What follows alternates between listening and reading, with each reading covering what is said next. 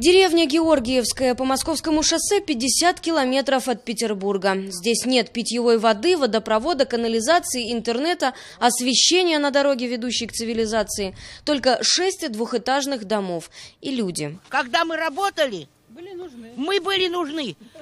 При советской власти пенсионерам почет был, уважение. О, совхозный пенсионер, о, на первое место.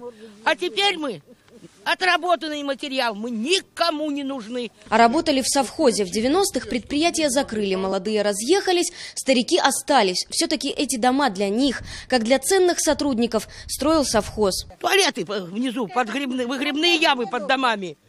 И вот, видите, это одна труба со второго этажа идет с туалета, куда вот выливают, ходят в туалет одна с первого. Трубы засорились. Изобретательный народ решил свою проблему. То есть вот эти трубы, они ведут прямо от туалетов на улицу? Да, вот. Водопровода в этих домах тоже нет. Зимой теплую воду сливают с труб отопления, с весны греют колодезную. Прошел дождь, у нас есть вода. Не прошел дождь, у нас в колодцах воды нет. Наша вода вся верховая. Уровень воды в этих колодцах точно такой же, как и в выгребных ямах. Понимаете, на что намекают местные? Прямым текстом они, конечно, об этом не говорят. Ну а что, вода и есть вода.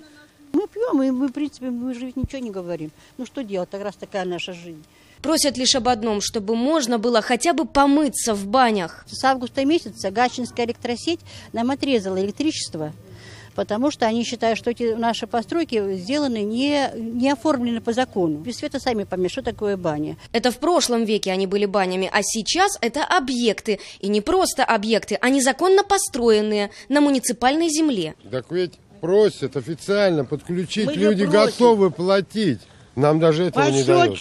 Неужели мы, мы не заработали мы за столько лет жизни старые вот люди, старые, пожилые, тут много людей. Вот она, там Неужели не заработали по 40, меня 44 года стажа? И за такую жизнь они даже платят квартплату. Вот у меня двухкомнатная квартира, без 50 рублей 3 тысячи. У меня мама живет в это самое, со всеми условиями. Она платит 4 с лишним тысячи. Я же за свою трехкомнатную квартиру плачу почти 7. Помогите хоть вы нам. Это Еще все. один вопрос. Постарайтесь, доченька, ради бога, просим. Кто на самом деле должен помочь жителям этой деревни, мы выясним в ближайшее время. Подробности в наших следующих эфирах.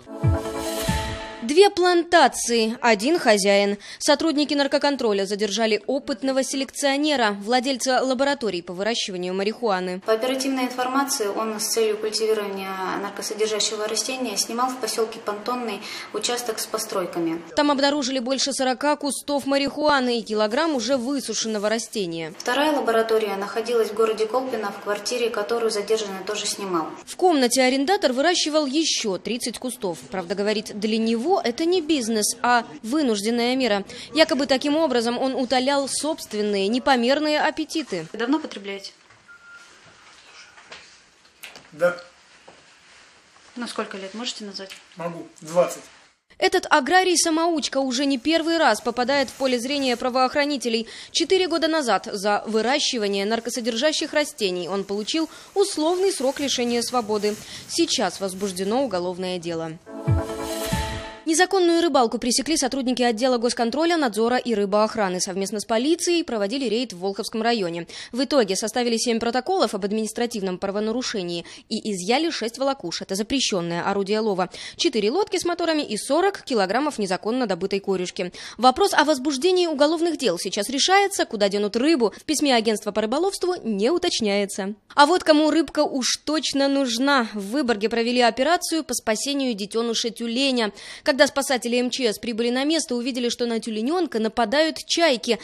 Отогнали птиц, связались с Центром реабилитации морских млекопитающих. На протяжении полутора часов, пока специалисты ехали в Выборг, тюлененка поливали водой из бутылки и защищали от птиц.